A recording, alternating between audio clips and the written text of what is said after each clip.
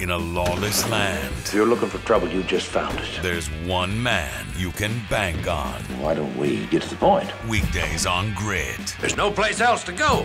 Dale Robertson. Let me put it to you another way.